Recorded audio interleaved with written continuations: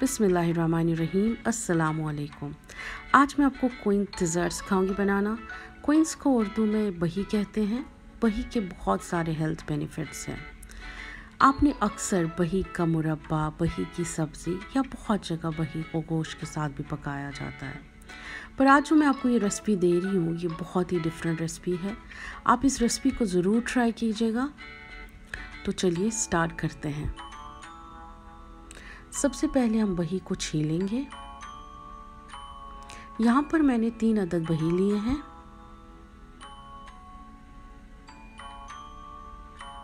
बही को हमें दो टुकड़ों में काट के रख देना है। ये जो इसके बीच है, इनको हम निकाल के अलग से रख देंगे। इनको फेंकना नहीं है, क्योंकि इनको भी हमें इसमें पकाना है। अब बही को हम पानी में डाल के रख देंगे। इससे इसका कलर चेंज नहीं होगा। ये जो बीज है, इनको हम निकालेंगे और अलग रख देंगे। इसके बीजों का भी बहुत सारा हेल्थ बेनिफिट है।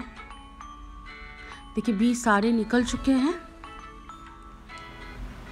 अब मैंने यहाँ पर एक पैन लिया है। इसको मैंने बिल्कुल स्लो हीट पे रख दिया है। इसमें मैं ये वही प्लेस कर दूँगी। आपको भी ये ऐसी प्लेस करने हैं।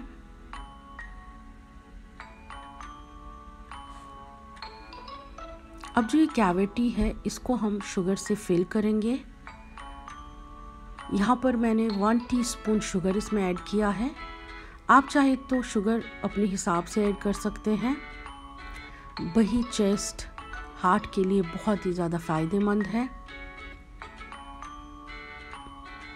अब जो इसकी बीच है, इसको हम ऐड करेंगे।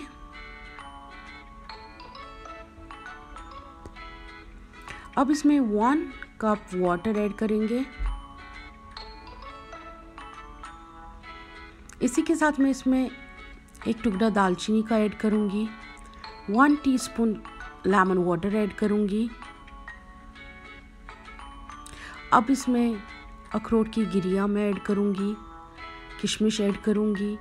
आप चाहे तो इसमें काजू बादाम भी ऐड कर सकते हैं।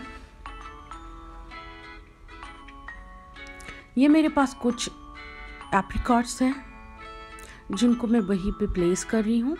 बेसिकली ये जो कैविटी इसको हम फिल कर रहे हैं। अब मेरे पास ये कॉक्सकॉम और सेफ्रान का रिडक्शन है, जो मैं अप्लाई कर रही हूँ इस पर आप देख सकते हैं, इससे इसका कलर चेंज होगा। ये ऑप्शनल है जस्ट इसका कलर इससे अच्छा लगता है। आप चाहे तो ज़ैफ़रान बस यूज़ कर सकते हैं या रेड कलर का भी इस्तेमाल कर सकते हैं। अब इसको हम 15 मिनट ढक के पकाएँगे। देखिए 15 मिनट हो चुके हैं। वही बिल्कुल तैयार हो चुका है। ये सॉफ्ट है।